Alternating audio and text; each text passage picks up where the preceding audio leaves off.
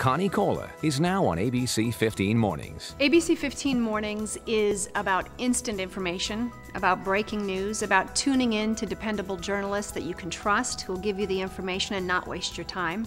It's about getting out the door quickly with traffic you need, with weather you need. It's aggressive journalism, it's accurate reporting, and it's a whole lot of fun.